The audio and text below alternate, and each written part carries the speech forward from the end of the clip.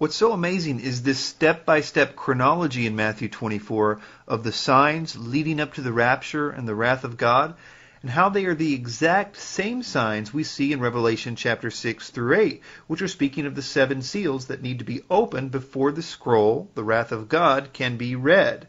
If you have never seen this correlation before, it's something else. So let's take a look at the first match starting in Matthew 24, verse 5. The first thing that Jesus says in response to this question is, Take heed that no one deceives you, for many will come in my name, saying, I am the Christ, and will deceive many. Now, if we turn over to Revelation chapter 6, as the first seal is broken, it says, And I saw, when the Lamb opened one of the seals, and I heard, as it were the noise of thunder, one of the four beasts saying, Come and see. And I saw, and behold, a white horse, and he that sat on him had a bow, and a crown was given unto him, and he went forth conquering and to conquer. Now it's the majority evangelical view here that this rider is the Antichrist and not Christ, mostly because of the company that he's keeping, and also the fact that the Lamb was the one that opened the scroll and I agree with that interpretation. I also think that there's a tie-in to the first birth pang that Jesus mentions in Matthew 24 because unlike later on, he says that this individual will claim to be the Christ. And that may explain why he's riding a white horse, just as we see Jesus doing many chapters later in Revelation 19.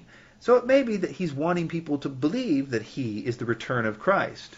Also because of the bow that is mentioned and the conquering. If you were to read a description of the Antichrist by Daniel the prophet in the Old Testament, you would find that the Antichrist is obsessed with conquering. Christ is nowhere described as having a bow as well, but instead a sword. Also, in Revelation 13 verse 1, the Antichrist's heads have ten crowns, a symbol of authority, and his authority was given to him by Satan in verse 2, which is also a match as we see here with Revelation chapter 6. And for all those reasons, I believe that the first seal corresponds to the first events in Matthew 24. Okay, so we're going to call that one a match and move on to the next one.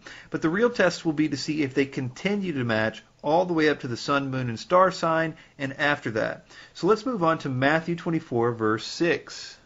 And you will hear of wars and rumors of wars. Okay, so let's check this out with the second seal in Revelation 6 to see if we have a match.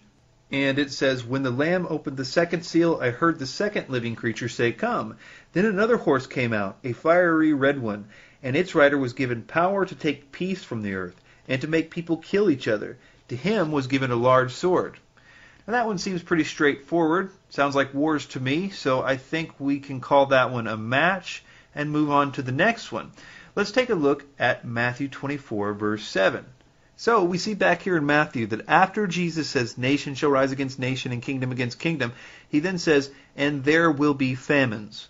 So let's check the next seal in Revelation chapter 6 for famines. When the Lamb opened the third seal, I heard the third living creature say, Come, and I looked, and there before me was a black horse. Its rider was holding a pair of scales in his hand. Then I heard what sounded like a voice among the four living creatures saying, Two pounds of wheat for a day's wages, and six pounds of barley for a day's wages, and do not damage the oil and the wine. So, an entire day's worth of work for one loaf of bread, I don't think that anyone would argue here that the third seal is speaking of famine. So famines are a match, and let's move on to the next one, Matthew 24, verse 9. And there we see that Christ describes that people will be hated and killed for his name. All right, so in Revelation 6, it says, When the Lamb opened the fourth seal, I heard the voice of the fourth living creature say, Come. And I looked, and there before me was a pale horse. Its rider was named Death, and Hades was following close behind him. They were given power over a fourth of the earth to kill by sword, famine, and plague, and by the wild beasts of the earth. Okay, a lot to talk about here. First, there is a general connection to our Matthew 24 verse. Being put to death is the primary point here, but the seal talks of much more than that. And I think the key to showing the connection here is this last phrase, by the wild beasts of the earth. While it's true that God used the sword, famine, and pestilence to discipline Israel in the past, and even wild beasts in Ezekiel 14 verse 21, there's no prophecy of a future judgment of this nature against Israel. One interesting point is that the word for by, as in by the wild beasts, is a different Greek word than the other withs in the verse. The New King James, which I'm using, does reflect this difference, but you can see this clearly if you have a regular King James version. The other withs are Strong's number G1722 called in, and this one is G5259 called hypo. When it says with sword and with famine, that's the Greek word in. But with or by wild beasts is a totally different word in the Greek, and it means something different too. Vincent Word Studies says the preposition by is used here instead of in or with, indicating more definitely the actual agent of destruction. The meaning is defined as under, often meaning under authority, of something working directly as a subordinate. So the first interesting thing is that it seems that the other things in this verse, the killing with sword and famine, are by or under authority of the wild beasts, as the New King James has it translated here. Another interesting thing is that the term wild beast, as some translations have it, has led to some false interpretations. It should be first admitted that wild beast is not the correct translation of the Greek in Revelation 6 8. The word is therion, and it basically means beast, and it can be translated as beast, Titus 1:12, or wild beast, as in Acts 11:6. Context determines which translation is best. It's used 39 times in the book of Revelation, and 38 times, the term refers to either the beast, as in the Antichrist, or the false prophet, the second beast, or the image of the beast, and it correctly is translated there as beast. However, the translators, attempting to clarify the meaning in Revelation 6, verse 8, incorrectly translated the text as wild beast, the only time it is not translated simply as beast in Revelation. There is no grounds for the translation wild beast in Revelation 6:8, since the beast, Antichrist, in Revelation 13:7, and the false prophet beast of Revelation 13:15, and the image of the beast in Revelation 13:15 all have the power to put to death, just as it says here. Both the beast, Revelation 13:1, and the false prophet, Revelation 13:11, are better reference for the beasts of Revelation 6, verse 8. Both famine and plague, then, are here attributed to the methods in which these beasts kill. That is, in addition to the swords, which is obvious if this is speaking of the Antichrist and false prophet. Famine is something that could be a result of only people having the mark being able to buy or sell, and therefore this could be the cause of this famine. But I also think that both the famine and the plague are things that could be orchestrated by evil people today. The famine in Russia, for example, killed millions of people, and it was largely man-made. It was the result of price controls and requisitioning. Some people say that Lenin was trying to break the spirit of the people and steal their land with it, but that's really conjecture. At the very least, most of the evidence is that Lenin and his associates knew the probable results of their agricultural policies, but were willing to take the risks. According to one of his associates, Pipes, Lenin repeatedly said that he would sooner the whole nation die of hunger than to allow free trade in grain. Plague also could be engineered by the Antichrist and the false prophet with modern superviruses, etc. Or it could simply be the result of the famine. So we will call that one a match, and we will move on to the next one.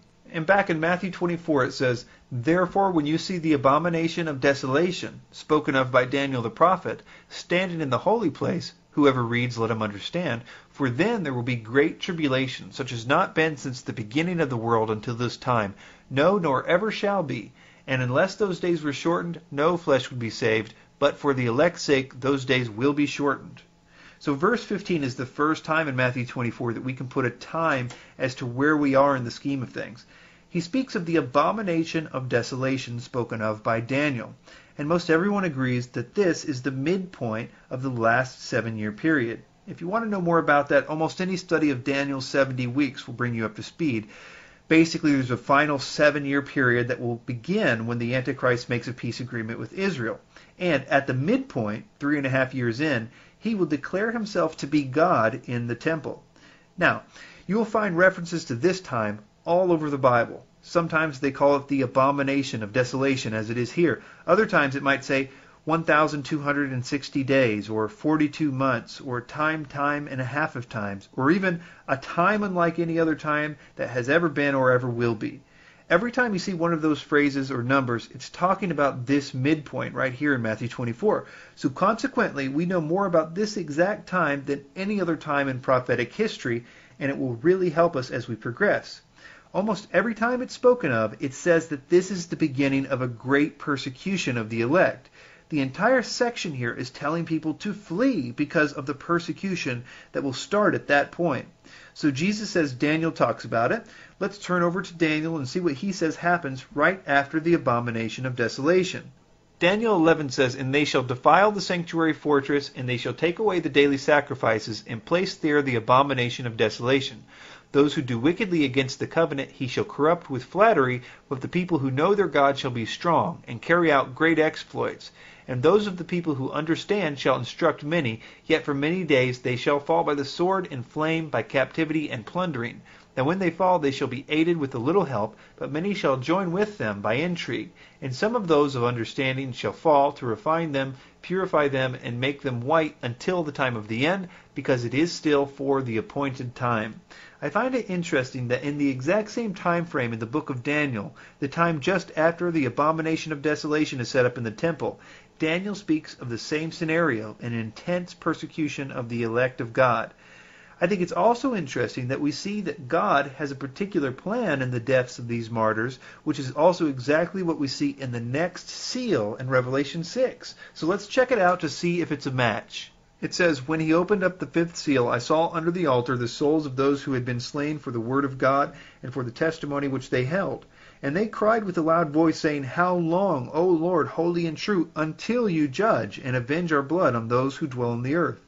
Then a white robe was given to each of them, and it was said to them that they should rest a little while longer, until both the number of their fellow servants and their brethren who would be killed as they were was completed. So this seal is entirely about martyrs. And that's exactly what we see happening in our Matthew 24 verse. But the most interesting part of the fifth seal is that the martyrs are asking God how long it will be until he judges those that are killing them. And this would seem to indicate that all that has happened so far in the seals, wars, famines, etc., are not part of God's judgment.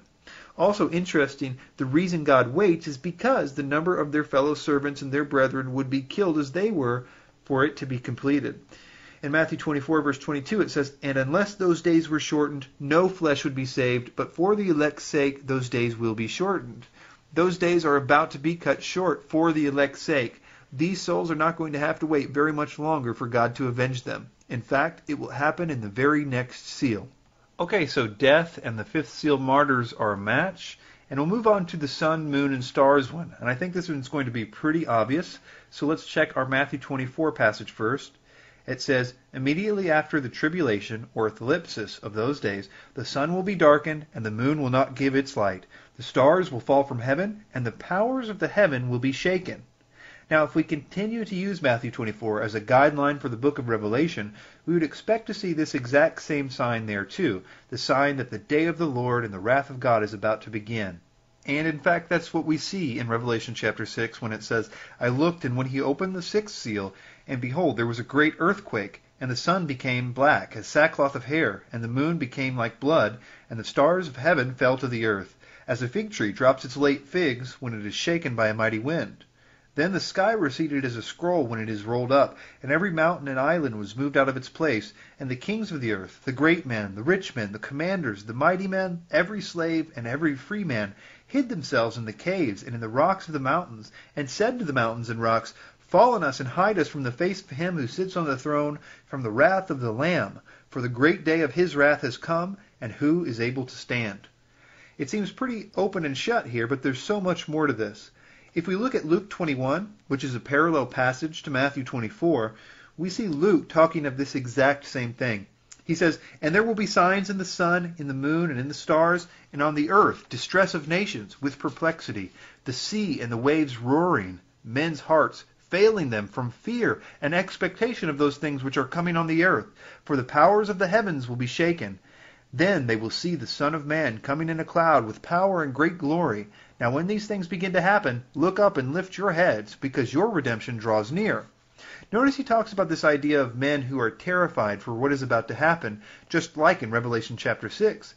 This is very important as we'll see. Also notice that, as we've already talked about, believers will take a totally different view of this event and will not hide, but look up in expectation.